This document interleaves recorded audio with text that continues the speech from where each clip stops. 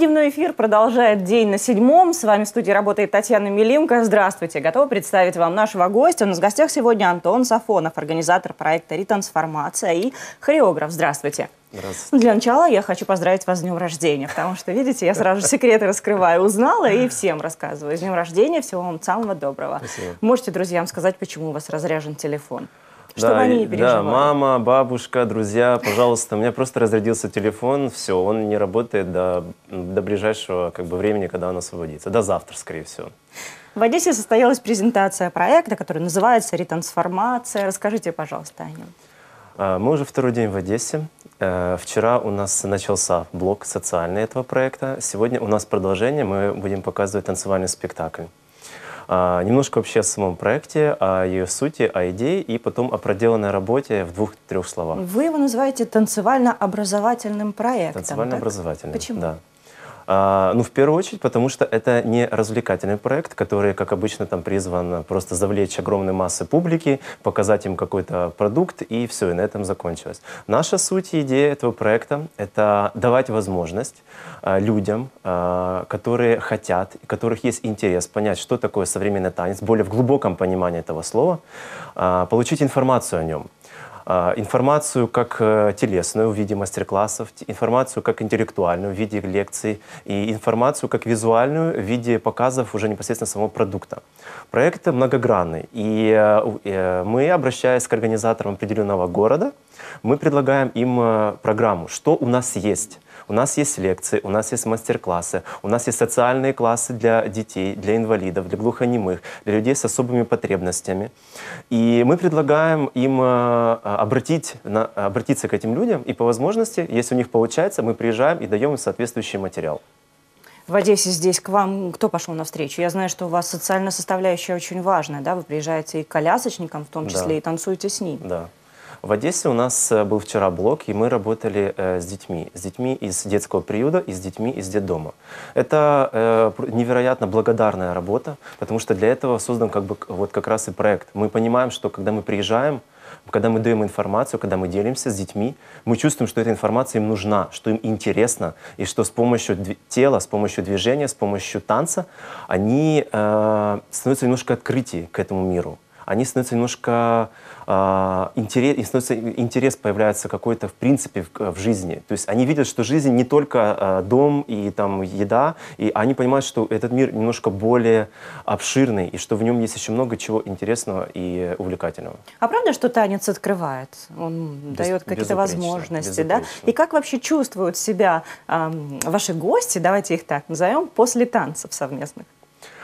Э, Суть вообще того, к- как мы работаем, принцип работы современного танца. Ну вообще, что такое вообще современный танец? Очень многие люди, это? да, очень Н- вот не как бы именно вот, если мы, честно. да, а, очень многих людей есть э, э, не совсем полное раскрытие э, деятельности современного танца. То есть многие его вообще просто ассоциируют, например, как с уличным танцем. Это не то, это другая степь. Ну, и уличные дамы, там, берем хип-хоп или брейкинг, это другая история. Многие ассоциируют его только с contemporary dance, который а, настолько, а, скажем так, популярен на телевизионных шоу, где люди создают э, невероятно плаксивые истории, бьются головой о пол, э, кричат, падают в колени, и на этом все заканчивается. Нет, друзья, это всего лишь верхушка айсберга. Огромнейший материал находится внизу. Огромнейший интерес находится немножко в той сфере, которая еще пока неизвестна. И а, в первую очередь э, современный танец, он несет индивидуальное развитие, индивидуальное восприятие э, мира искусства. Когда мы приходим к детям, мы не э, учим их просто связки танцевальной и показываем, что, ребята, вот сделайте ручку вправо, ручку влево. Это полный бред. В этом нет никакого интереса, в этом нет интереса развития. Мы приходим с материалом, который предлагаем детям поработать с той или иной сферой, с той или иной задачей, проявить их индивидуальность, проявить их мышление, смекалку и фантазию. И тогда мы видим результат, что каждый раз после мастер-класса мы слышим индивидуальные отзывы. Мы понимаем, что наше ма- наш материал достучался до каждого человека, и там он отобразился по одному. Кто-то сказал, что, что мне было это интересно, кто-то понял, что можно, например, э, делать то или иное э, вещь. В общем, говорит, а почему я этого делаю, не могу делать дома, сидя за компьютером? Я говорю, вы можете делать все, вы можете танцевать когда угодно и как угодно. Главное ваш подход, главное ваше и мышление, как вы э, этим оперируете. То есть даже в эфире можно танцевать. Ну вот смотрите, я сижу, я жестикулирую. Да.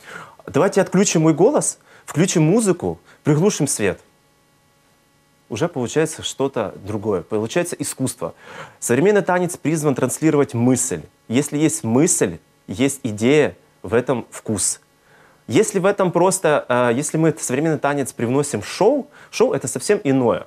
Шоу — это развлекаловка, где люди приходят, они получают дозу информации, потом срабатывает фактор «вау», все хлопают, уходят, и что? Через пять минут они уже не помнят, что было. Здесь должна быть история, наверное, в шоу, а в танце, я, как вас понимаю, должна быть жизнь. А... Эмоция. Очень такой каверзный вопрос. Я думаю, а, здесь везде есть и история, и жизнь, и просто современный танец, он немножко глубже. Мы стараемся говорить... Со первую... философией? Да. В первую очередь мы стараемся говорить на актуальные темы. То есть люди, которые занимаются современным искусством, им нет смысла говорить о вымышленном каких-то э, неизвестных историях, о прошлом, о Ромео и Джульетте. Там. Почему мы не можем говорить о современных проблематиках, но языком э, танца? И интересно – и, и со сцены, и со светом мы можем, мы хотим, мы делаем это. Почему мы не можем использовать э, э современный танец как э, э как рычаг э, работы, например, с проблемами, там, с политическими или еще что-нибудь. Ой, я прям вижу, Верховная Рада выходит, и все депутаты начинают танцевать. Нет, это не об этом. Это о том, что мы, ну, это о том, что танцоры, это как раз о том, что танцоры могут говорить об этом, о интересных, важных вещах. Не депутаты, в этом нет смысла. Да, Хорошо. У вас очень много проектов, на самом деле, и один из них такой трио называется, да? Втроем вы с, еще со своими друзьями, компаньонами, вы там выступаете хореографом и э, танцором. Там какие-то, в общем, сцены у вас специальные, честно сказать, э, с первого взгляда не сразу же не поймешь. Ну, мы можем сейчас посмотреть, а потом вместе мы с вами поговорим, и вы мне попробуйте объяснить еще и э, телезрителям о ну, том, скажем, о чем вы там танцевали. Это просто промо-ролик. Хорошо, да. промо-ролик, но он объяснит немножко, что такое современный танец, еще и в вашем исполнении. Давайте Хорошо? Попробуем. Давайте посмотрим.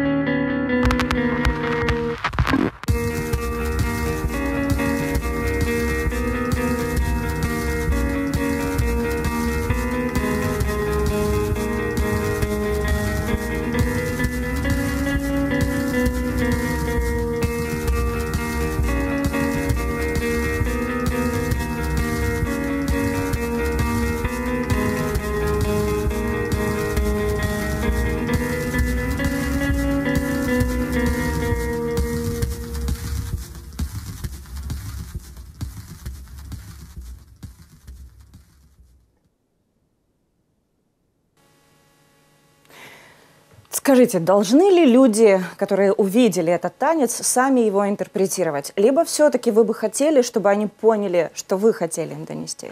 Я расскажу приблизительную схему, которая одна из вариантов, которая работает в современном искусстве. Когда люди приходят смотреть какой-нибудь спектакль, им интересно сначала узнать, о чем этот спектакль. Ну, хотя бы тему. Если они не знают тему, то они, получается, попадают в неизвестно куда, неизвестно почему эти люди бегают и прыгают.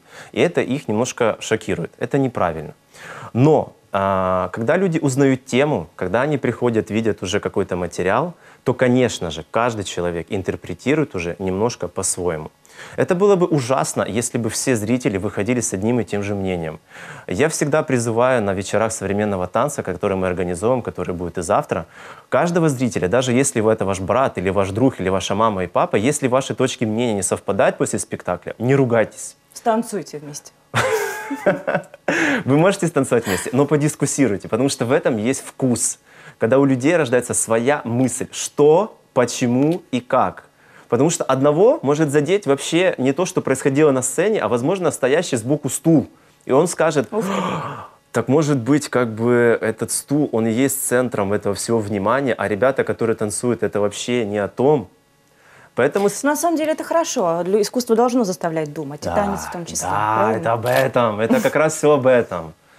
Вы сказали, что завтра концерт будет.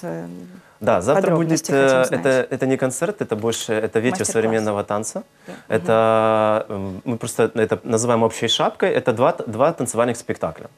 Завтра будет два танцевальных спектакля, один которых является нашей работой, нашей, э, собственно говоря, я как хореограф, но работали мы все над этой общей идеей с моими танцорами, так как с Киева, и работа э, местных ребят из Одессы Наташи Моисеевой. Вы хореограф, на самом деле, с потрясающей биографией. Почитать о вас вы еще в 2012 году начали стажировку в Европе, да, в Литве, и в Германии вы были, Израиле, и Испания. И очень-очень много, на самом деле, пунктов, в которых вы обучались, но в основном это европейские города. И только вот в 2015 году я вижу, что 2015, вот ближе уже к нашему времени, вы переехали в Киев. Расскажите, а понимает ли вообще Украина современное искусство? И Более почему того, вы начали с Европы именно и привезли теперь это сюда? Более того, она не только понимает, она еще и нуждается в этом. Мы видим и мы чувствуем, что нашим людям, у наших людей есть потребность в интеллектуальном искусстве. Мы очень часто слышим отзывы приятные. Теперь через пару дней, через 2-3 дня, когда проходят наши концерты, у нас есть наша страничка, у нас есть как менеджер, с которым всегда сконнектится с людьми, что спасибо, ребята, что вы не дали нам фастфуда. Вот где-то это так очень грубо, но где-то это так что люди говорят, спасибо, что мы пришли, мы почувствовали, что мы здесь не лишние, что мы были с вами, и мы мыслили во время вашего спектакля, что мы могли генерировать мысли и не только наслаждаться красивой картинкой. Красивая картинка, да, это безупречно. Вот сзади нас прекрасная красивая картинка, но она ничего не несет, кроме того, что это дерево. Но на сцене просто картинки мало. История, возможно, но будет ли тогда интересно зрителю просто прочитать историю?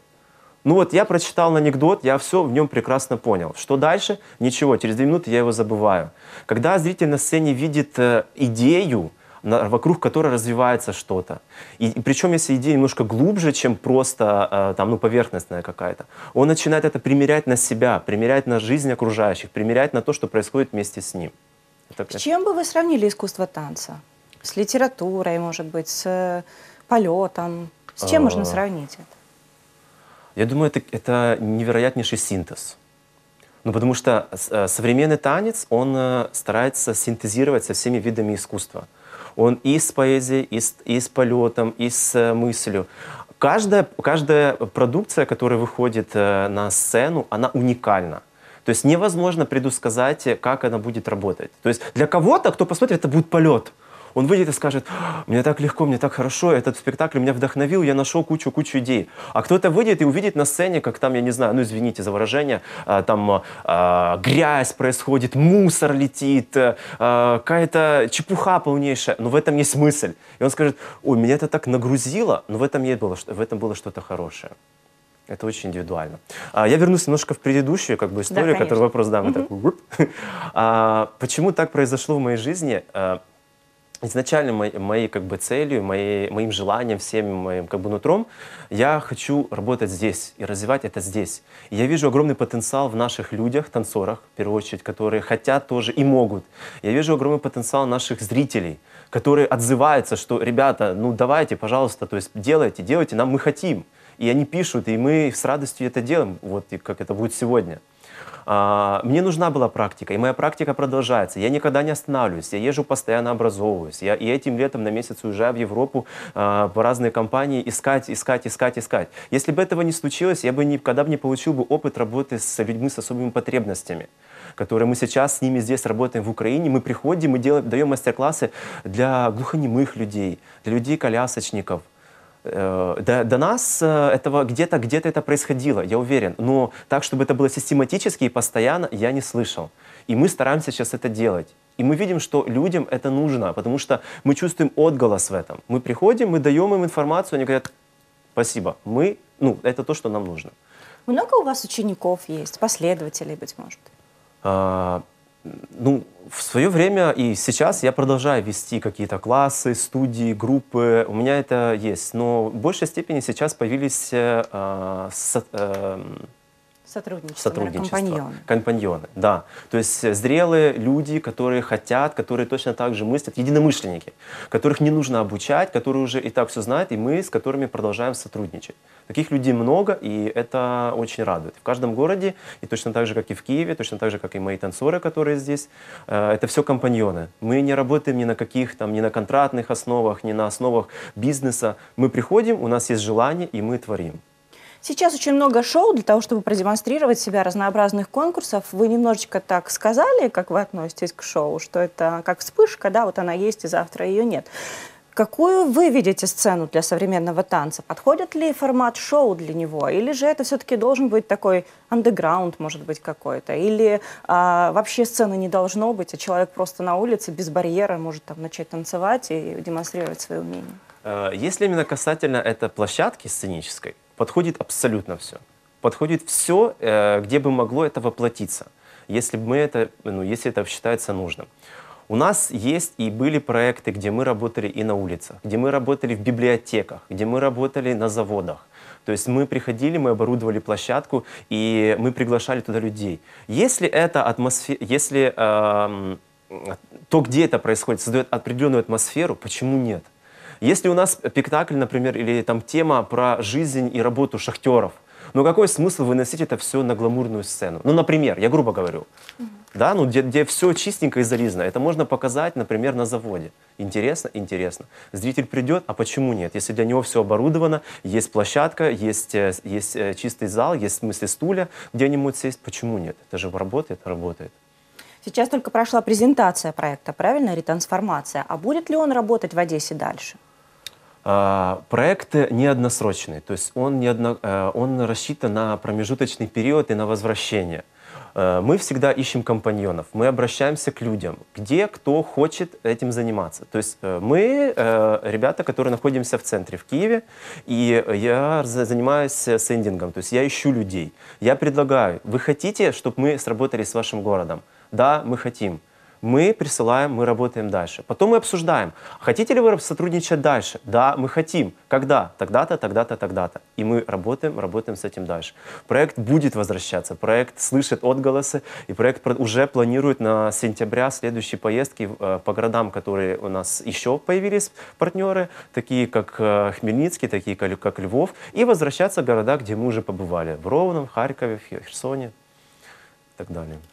Спасибо огромное, что вы приехали к нам. Я еще раз хочу поздравить вас с днем рождения. Я надеюсь, что действительно вот наша светлая студия вас впечатлила и оставила какие-то приятные э, такие ощущения в душе от общения на нашем телеканале. Итак, я напоминаю, у нас в гостях Антон Сафонов, организатор проекта «Ретрансформация» и хореограф. Спасибо а еще раз. А мы можем пригласить на зрителей сегодня Конечно, вечером? можем. Должны а, даже. Да. Если у вас есть возможность, э, мы очень будем рады сегодня вас видеть э, на наших, на наших спектаклях, которые будут э, в 19.00, буквально через пару часов а, в университете Мечникова на Французском бульваре. Мы будем очень рады видеть вас.